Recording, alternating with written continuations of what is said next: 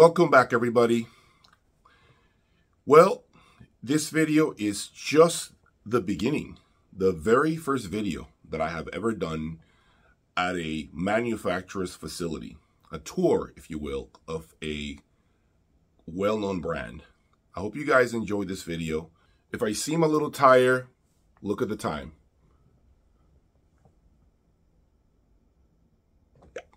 Almost three in the morning. Okay, three in the morning, and I just got done editing video. So forgive me if I look a little tired. I am indeed tired, um, but I love doing this for you guys. Kevin, it has been a pleasure. Thank you for opening doors to me and allowing me to film some footage of your new facility. Um, it was just so easy to talk to you, and um, I really, really greatly appreciate this opportunity, and hopefully we can do it again.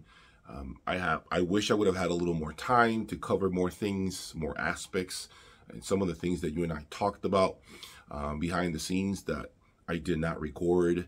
Um, you are an encyclopedia of knowledge, something that I have also mentioned to someone else. Um, so it's so refreshing to know that someone like you exists in this industry. I hope you guys enjoy the tour of the Valve Audio Company's facility in Sarasota, Florida. I am tired. I am headed to bed. Please enjoy and leave me your comments if you want to see more of this type of content. This might be just the beginning of the direction in which I will be going over the next few months. I believe content like this video is something that needs to be done more often and that we never get to see pay close attention to a lot of the information that Kevin relays to us and some of the things that you and I never really discuss, things that are behind the scenes, challenges that manufacturers go through.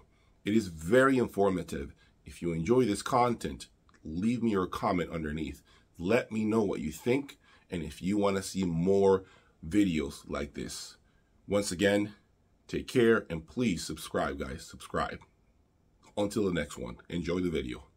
We are. He's going to go over the back of the 450, 452, 452 IQ. IQs. This is the business side of the 452 IQ. Can explain and something? We're just mentioning they can be they're what we call a Musicbloc configuration. It can be run either as a stereo amplifier or as a mono amp. And the mono is not bridging, by the way. It's a circuit reconfiguration to run as a, a properly designed mono circuit. And so in this case, there are two switches that control the rewiring the circuit to stereo or to mono. One down in the output sector area, one up in the input sector area. Now, the third switch allows you to select between the natively balanced mode of the amplifier or a single-ended conversion input mode for those who are using RCA cables. And then you have speaker connections, Cardas patented type for stereo left and right or for mono. Wow all machined aluminum and uh, made in the USA. That's for sure. definitely made in the USA. made in the USA. Very few companies are doing everything here now, so it's great to see that. Well, it's, it's an important thing though because when you when you have your source and your work close to you, you can detect when there are any changes happening to suppliers in a part or the performance of something, and you can react to it quickly. Mm-hmm. If you have it made somewhere else and shipped in in batches, you could wind up with 25 or 50 pieces that aren't right. But you know, in this case, every piece as it comes off the line goes through test, goes for audition, and so we have a very close connection between the suppliers, the quality of the parts, and our own process to make sure that we hold things in a very narrow range around the sound that we designed in the prototypes. Interesting. I see that. Yeah, it's incredible uh, to look at. So you test everything out before and you audition it. I think you. Uh, I've heard. Every single piece I audition personally before it's authorized to ship, whether it's a new piece, or a repair piece, or an upgrade piece. Everything has to sound just so, as well as measuring just so before it leaves. Wow. Okay. Tight controls just to ensure quality control for all these buyers. Um, I've heard nothing but great things about the brand and how reliable it is. Um, I have owned the, as you know, the 450s and of course the Master, and both of them are phenomenal pieces. Um, to me, you know, not being necessarily a person that has been doing tubes for a long time, I do have experience with different tube brands and uh, just love VAC, man. The look, I mean, it's just phenomenal, guys. I mean, look at this. I mean, you want eye candy? I know you guys, just go ahead and turn on your TVs right now, your 4K displays, okay? This is a 4K video I'm doing. Okay, turn them on. Take a look at this. A very close look.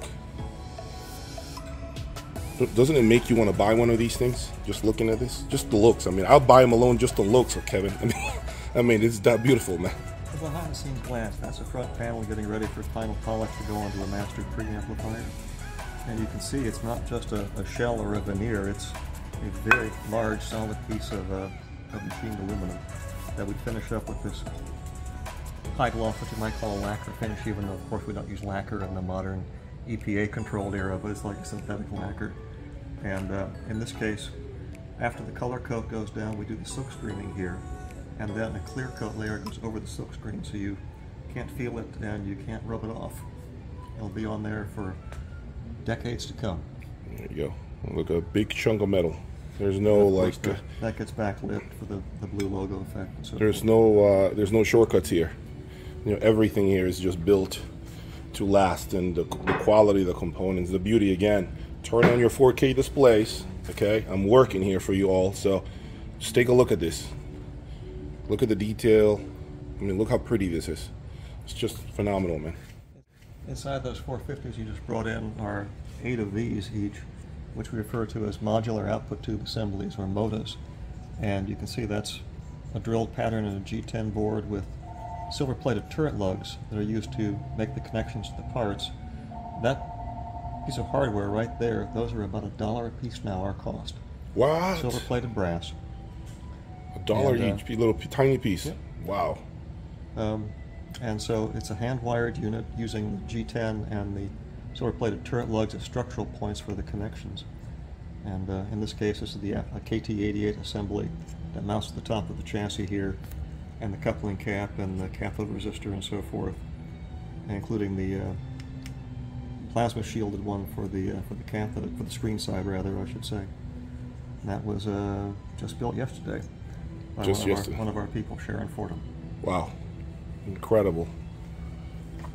This then would be the power supply board for that same model. Wow. One of the things we tend to do here is not use large single capacitors, but groups of smaller ones because the smaller parts have higher self-resonant frequencies. They're just more live. They're more willing to jump with the music and to uh, and to let it uh, let it sing the way it's supposed to. Brute force is often a bad choice. Yep, I see that.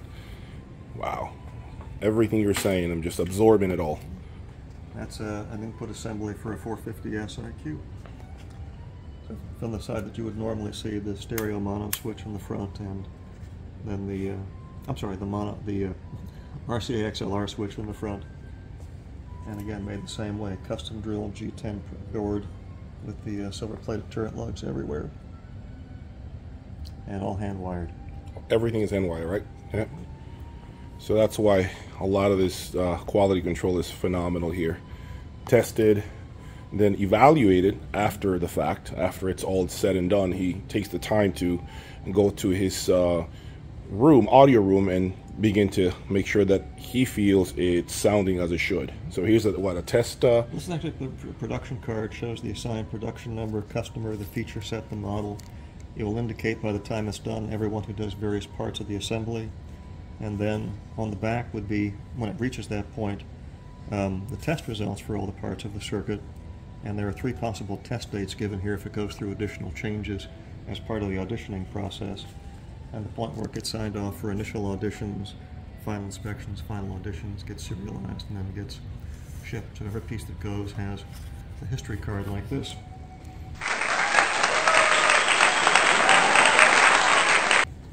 This one's in its early phases right now. This is going to be a 170i when it grows up. What is right now your lead time? How long is it taking you to deliver product? Because I know we have a, an entire situation with COVID and parts shortages and um, it is important for a lot of the viewers to know that if they buy a VAC product, what what what are they looking at? What's the delivery more or less times right now? It's How long is it? on the model. When you look at a statement product, they have you know, perhaps a couple of hundred man hours of assembly, person hours of assembly in them. So and they're, the queue is back ordered. These have been on order, I think, for about two months. Two months for these right now. That's, that's, the, that's the next pair coming off of that production line. Okay. Um, so statement series gear, probably two to four months. Two to four months. Master products, like a master preamplifier, and you can see there are three in production right here. Um, they're probably two to four weeks. That's not bad, actually. Um, That's not bad at all. I mean, two to four weeks. We're turning in about two weeks' time until we recently ran into an interesting problem. Speaking of the shortages, the wrinkle powder coat paint that we use on the transformer cans is suddenly no longer available. That paint is no longer That, available. that paint is now on a two-month lead time, so we're Oh looking at God. alternate paint formulations to keep that going without changing the appearance materially. But uh, the duration. crop up here and there. I just ordered a production run of power transformers for us, and the last order we had done was 11 months ago. Price of the transformers has gone up 32 plus percent. Transformer price. past 11 So a third. Just for a power transformer.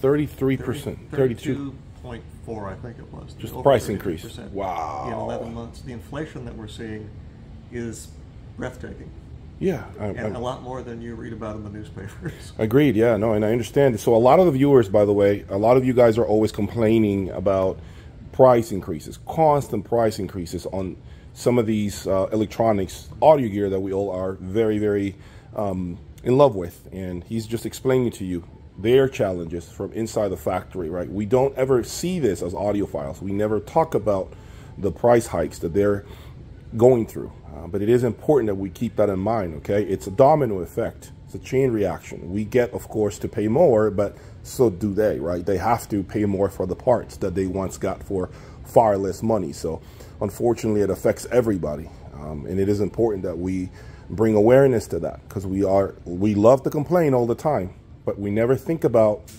the other side of the fence. Well, It, it- goes by just, just raw pricing. For example, we use a lot of the quarter-inch aluminum plate stock, like on the 452 chassis. And beginning about a year and a half ago, um, I mean, normally you, or you order um, your, your aluminum specified to be flat and scratch-free and so forth. Today, you cannot go to any of our regular suppliers and get a guaranteed warp-free, scratch-free piece of quarter-inch or three-eighths inch aluminum plate. What? They don't want to hear it. Tell it to the hand. Oh my God! So right now, so, wow. Not only has the price of the aluminum gone up by, compared to pre-COVID, maybe 200%, I think it is. Two hundred percent. Wow. That's a swag. Don't hold me to that. That's, Okay. I have to look up the numbers for certain, but massive inflation on the metal. But at that, what comes in may be rejected. So in many cases, we have to go to ordering a thicker material and taking the time to have it machined plane down to a flat, smooth surface before we can use it. What used to be a normal commodity part is now a special production part with 50% more cost based on the volume to have the area to fly cut it down to make it flat again to make things like you know these large sides on the 452s. So you're not getting. that, that has to be flat. That can't have a warp or a bend to it. So you're saying right now you have challenges when it The- comes to what you're receiving. The quality has been. is distinctly less than it was two years. It's not even in the same uh, stratosphere as it once was. So you find yourself having to Make extra do a second pass What are to more perf- materials. to perfect what they sent you to begin with. That's it. So, so again, guys, some of the challenges here, um, and we're hearing it. We're hearing it from back from Kevin here. Uh, we have not even talked about the rest of the challenges from other aspects in the production line. Uh, this is just, I'm sure, at a high level what you're telling us. So I'm sure there's a lot more to talk about. Well, I, I cringe over it too. We just did uh, in March, I think it is, roughly a five percent price increase, but with things behind the scenes going up, you know, in some cases thirty-two percent. It probably wasn't enough, but I really don't want to shock people either. Right, So right. we're, we're absorbing a lot of that right now and believing it's going to work out in the end. But Right. it's a challenging time. It is a challenging time. Um, COVID has definitely put a huge dent, huge dent on prices for every single brand out there. Um, we have to be mindful of that. Okay, uh, I am one of the biggest shoppers, as you know, of the ultra high end. By the way, I would love to have one of these in my room, and I know my viewers would love for me to get one of those, uh, a pair of these in my room. I know Greg Weaver, he loves uh, VAC. He, him and I have been corresponding for about about, about three weeks, four weeks, and uh, he uh, he's very he just loves the sound with his Von Striker setup. He, he's he said he's heard a lot of different amplifiers, and he keeps coming back to your stuff. He just he, I mean, the way he articulates, I wish I could just read some of the uh, uh, of the description of the sound and, the qualities of uh, you know what you provide with some with your electronics. I mean, he's so in love with VAC. I can tell you that. So you definitely have one one hell of a supporter right there. Um, and uh, and of course, me myself, I love you know the sound and I love what it does. Um, but I am, of course, curious here to hear this, um, to be able to play with it. I hear it at shows, Kevin, and to be honest with you, one of the biggest criticisms that I've had in the past has been that every time I hear VAC, I hear it with Von Stryker. And um, unfortunately, every time I see these large rooms, ne they never have streaming, number one. A lot of it is vinyl, which I get, okay? But I like to hear the product in different settings. So, sure. you know, I like to hear it with streaming. Uh, I like to hear it with uh, CDs. I know they have the ability to play, and that's my bad, by, by the way, Kevin, because I didn't bring my uh, thumbstick with some music. Um, I should have done that, and Greg brought it to my attention. So um, kudos to Craig for proposing that. Yeah, yeah, and I just you know I never had the chance to spend enough intimate times with this the new statement pieces. I've only really spent time with uh, my own the 450s, which were phenomenal. Um, and so I know the sound is there. I know the quality, the presentation, the organic feeling is all there. But for me, I guess the proper way to assess a product is essentially living with it or spending intimate time with it and understand what it does and doesn't do. Um, and, and shows we get a rough draft. I feel oftentimes. shows give you a place to listen to things you might want to check into. Right. But they're unfamiliar rooms. No matter how impressive they may or may not be, uh, you have to feel sorry for some of the exhibitors. They come in, they have eight hours or 12 hours to put a system in a hotel room yep. and make it sound good. Yep. That can be a challenge sometimes. It can be a challenge. Um, so if you hear a bad sound at a show, you don't want to dismiss the product entirely. No. If you hear a, a great sound, sometimes that's just a unique function of that particular room and some serendipity. I've heard some things when I first began back in 1990 that impressed me at the first CES I went to that sure didn't impress me when I got them in my own home. Speakers I'm referring to. Interesting. That was the uh, you may not have been around at that time. They did, they did a CES in Chicago in the summer of 90 where they couldn't use the hotel rooms because of the fire marshal and some of the things going on in Chicago. Okay. So they built sound cabins on the convention floor using what amount to like office divider materials. Right, right. And what works well in an enclosure made of damping material sure. doesn't always work well in a live room. In a right. So, you know, always um, it's great to be impressed at a show. We, we do them like trying to put on a Formula One race to make people really enjoy the experience, to be uh, enthusiastic about the performance and what it can do. If you can't show people what's possible, they won't know what they want or what they might want. Correct. But you know that's sort of like a Formula One event. But the street M3 car or the 3 Series sedan, things like the 170i, are where most of us live, and that's where we put a lot of our effort. We do the cost no object systems to try techniques, to try materials, a learning curve process, take all the limitations off, see what's possible, and then see what you can learn from that into a, a more affordable product. Agreed. Uh, what's interesting is, I, I, hear this fairly often now, is people say you only show at this brand in this big room, but at most shows we are in three or four exhibit rooms, um, ranging all the way from the 170i up to the Statement series. There's usually a von Schweikert partnered room in there. Right there is usually an Acora partnered room in yes. there. There's usually a Gershman Acoustics partnered room in there. We had gear in Chicago in um, um, American Sound from Canada's room with the big avant-garde uh, system. Um, Daedalus, Lampizator, different kinds of people we put the gear with. So it, we try not to just give you the giant room, giant system. That's great. That's great. Yeah. what people always remember. Yeah. No, it's true. I mean, it is really the statement room. I mean, in many ways. Unfortunately, I mean, that is the largest uh, display for VAC and for Von Stryker, right? So the smaller rooms, I hate to say it, oftentimes get overlooked because of the size. Because but they are there. That was my point. They are no, they are there, and you definitely showcase uh, your product. Uh, speaking of Acora, bringing going back to your point about the rooms, um, you know, back in um, February of this year, I heard, I heard Acora with the integrated, um, and I thought it sounded phenomenal. Uh, when I think about the Chicago show, Axpona, they had room issues, they had challenges. Um, I thought that the presentation um, wasn't what it was at the Florida Audio. However, it ties back to what you said. The room is something that we don't ever, we seem to overlook. And the room presented challenges for Acora Acoustics. I know they had a fake wall, like a divider wall, wall. and that was terrible. And so that was one of the issues. But I do feel that um, it's something that needs to be noted and highlighted. Um, the challenges that a lot of these exhibitors have, um, and they have to do what they can. They're thrown into the room. Keep in mind, guys, um, these exhibitors don't have a week, two weeks to set up. Okay, they don't because they, first of all they get charged for the room. Right. and jiggled and jostled. And And so there is so much they have to put together to give you the best presentation possible given their challenges. So when you hear at a show things that pique your interest, that should be enough for you to say, you know what, I'm interested in figuring this brand out and see if there's any models across their entire lineup uh, that could be applicable and could be within my budget. So when you go to shows, remember, you're not there to be although it might happen, you might get blown away by a certain room, um, but you're there to just sniff potential, raw talent. Where is it? And if you sniff it, better better said it than that, then you should just do your homework at that point. Take it home, Exactly. write notes, and say, you know what, I like this brand. It piqued my interest. I need to see what else it can offer, or if there is a product that fits my needs.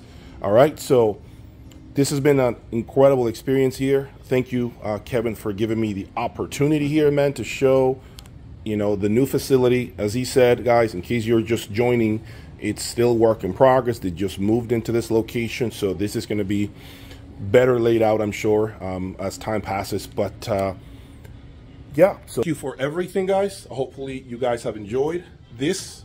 And um, Kevin, once again, thank you. always a pleasure. Thank you. Until the next one, hopefully you enjoy this, guys. More to come here at Jay's Audio Lab. Peace.